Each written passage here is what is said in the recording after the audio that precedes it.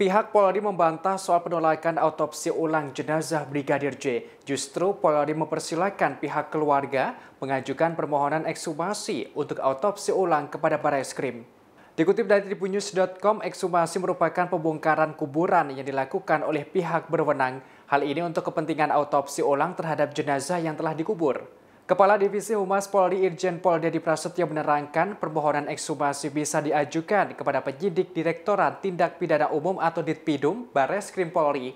Diungkapkan penyidik Ditpidum membolehkan kuasa hukum keluarga untuk autopsi ulang dengan pengajuan permohonan sesuai prosedur.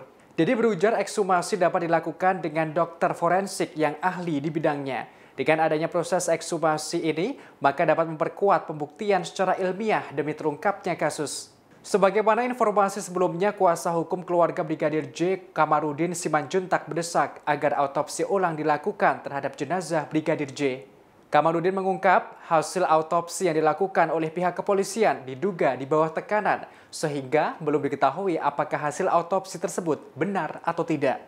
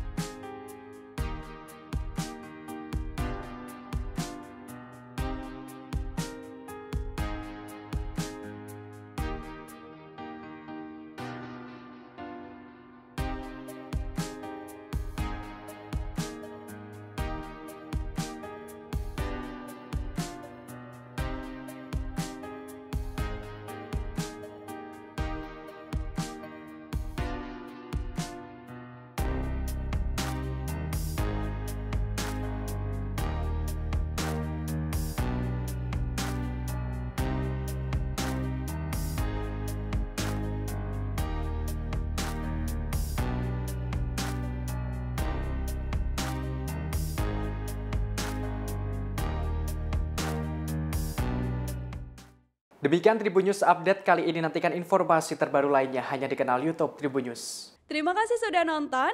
Jangan lupa like, subscribe, dan share ya.